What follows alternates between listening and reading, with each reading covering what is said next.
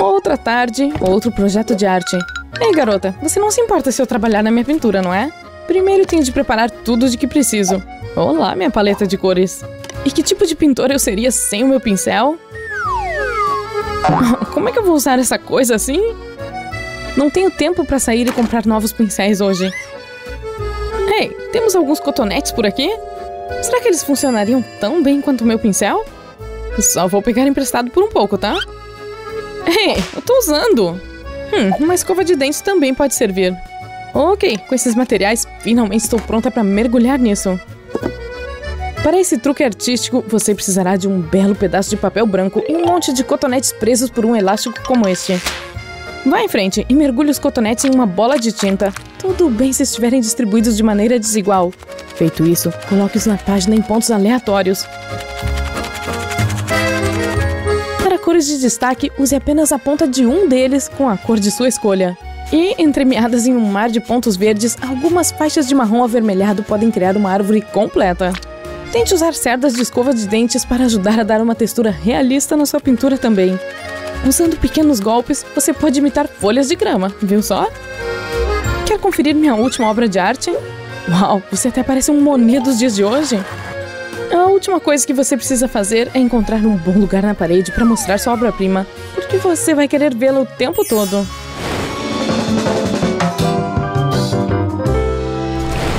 E para iniciar nosso desafio de desenho? Miau! Nós amamos gatos! Eles são sempre muito fofos! Yupi! Garotas, vamos desenhar, estão lembradas? Será que devo fazer um gato malhado? Fique paradinho, tá, rapazinho? E será que isso é exato? Agora sim, é disso que preciso. Eu quero as proporções corretas. Ainda não está certo. Isso pode funcionar. Só preciso de uma pitada de pelo. Ainda bem que estou usando óculos de proteção. Deixe-me examinar meus cálculos. Sim, bem como eu pensei.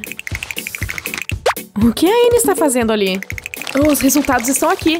É o que eu sempre suspeitei. Nada de ciência. Está na hora de me tornar uma artista.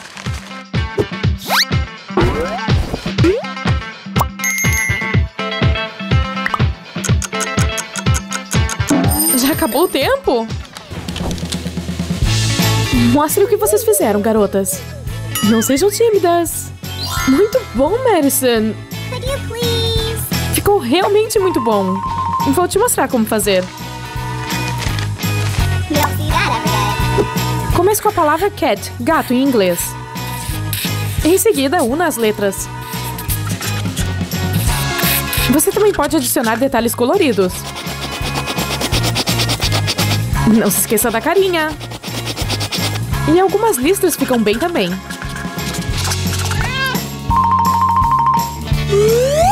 Eles são parecidos, não são? Apertar essa coisa é super satisfatório. Que tal desenhar isso? Adoro Poppets! Ok. A Jenny está indo pelo lado colorido. Mas posso ser mais criativa do que isso. Só vou pegar isso emprestado. Primeiro, grude algumas fitas adesivas no papel. Depois coloque pingos de tinta nele, assim. E em seguida, finalize com pente, criando uma estampa legal. Isso ajuda a juntar as cores. Muito mais interessante do que usar pincel.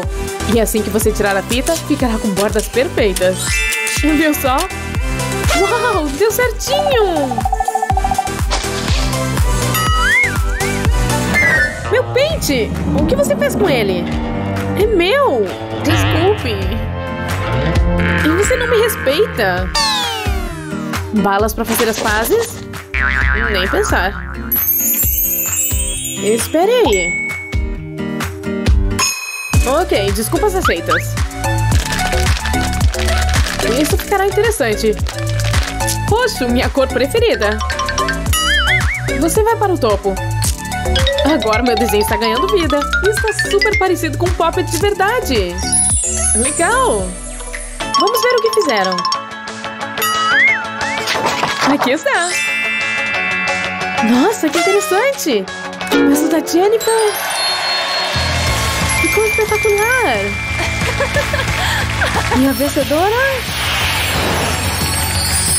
Uau! Chuva de Poppets! O que será agora? O que será?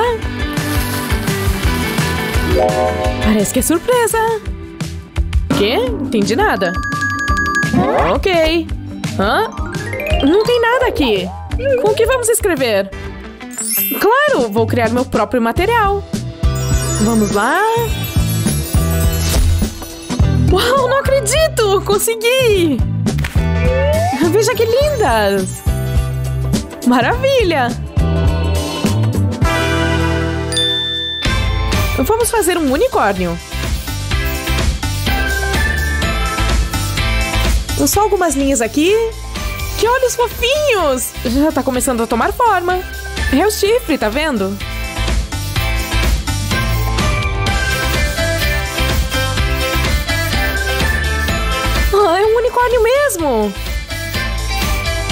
Mas todo unicórnio que se preze tem um pouquinho de cor.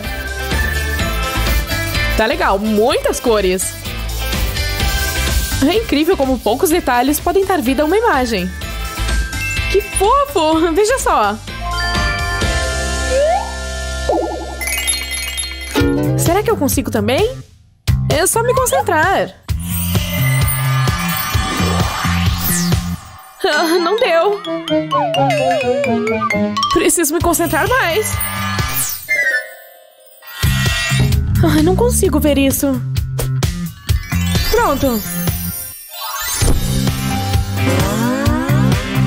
Sim, funcionou! Mas o que eu faço com isso? Será que devo usar o espelho? Se você não sabe, imagine eu. Ei, você também tá vendo o reflexo? Que legal! Já sei o que fazer. Dois patinhos na lagoa virados um para o outro podem se transformar em outra coisa interessante. Sim, é um sapo! A cor verde vai ajudar a dar vida a ele. Muito bom! Sou uma excelente artista, não? Terminamos bem na hora!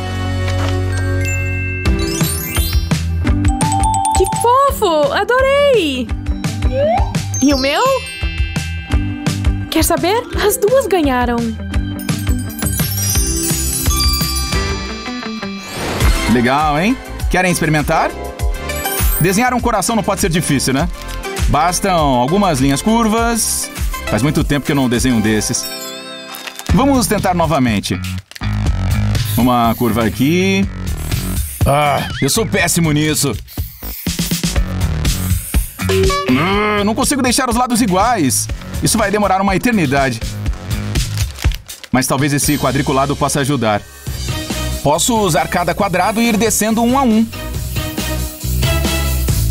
Aí está a metade inferior. Ah, agora vamos ao topo. Vai ficar mais bonito com cores diferentes. Só mais um pouco. Está incrível! Confira! Que abordagem original! E este? Um pouco literal demais pro meu gosto.